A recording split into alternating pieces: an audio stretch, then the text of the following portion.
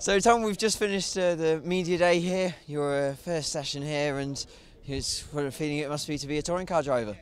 Yeah, it's incredible. Um, it's the first time, you know, I'm, I'm, out there with all the other drivers. Um, there's lots to learn. Um, you know, I'm still not completely comfortable in my car. Um, it's only sort of my third or fourth day fully in my car, and front wheel drive's taking a little bit of getting used to, but you know, I'm pleased, you know, with the setup we're running and uh, everything like that. I think I think the times are relatively representative, and um, on old tyres, you know, I'm close to my teammates. It's just maximising a new tyre grip takes a little bit of learning, but yeah, we'll get there.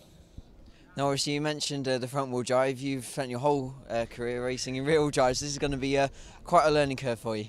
Yeah, definitely. Um, there's, there's, a lot of differences. Obviously, you know, there's a, there's a big difference between the Porsche and the Mercedes. Um, engine placement, obviously front wheel drive to rear wheel drive, um, you know, weight, aero, brakes. But um, but yeah, it's it's mainly the the understanding what the rear does um, and having confidence that the rear is going to stick uh, when you go into a corner because obviously it's really light. So it just takes a bit of getting used to. And obviously uh, most of these boys have had a lot more experience, they're a lot more confident on my car than I am. So you know, I just got to learn as best possible. But you know, I didn't spin, didn't crash today. Uh, we had a small failure on the um, when a pipe burst, but yeah, it wasn't my fault. So yeah, solid day. Well, not only is the uh, car different from Porsche's touring cars, but also the racing is very different. So that's going to be something that you're going to have to uh, adapt with uh, brands. Yeah, definitely. Um, you know, I'm used to starting in the mid pack. Um, you know, I always love a good race.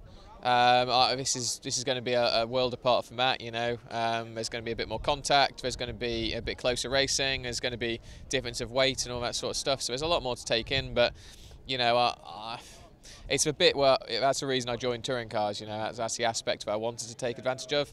Um, I think a lot of other people who've joined this year will have to get used to the same thing. So, yeah, yeah, it's it's just something that you got to learn. But you know, I'm going to enjoy all my racing at Brands Hatch and, and see where I come. And uh, finally, have you set yourself any targets yet, or is it still too early?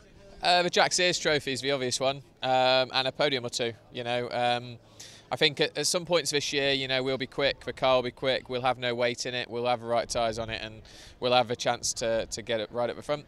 Um, I've just got to wait for that opportunity, really. I think overall, consistency is the key, and, and if I can come away fighting for the Jack Sears Trophy and, uh, and, and getting a, you know, anywhere near the top 10 in the championship, I'll be ecstatic. Um, but just scoring regular points and, uh, you know, hopefully competing against my teammates, trying to beat them in a race or two, and uh, yeah, we'll see where we go. Okay, thank you for your time, Tom. Very good luck for the season ahead. Thank you very much.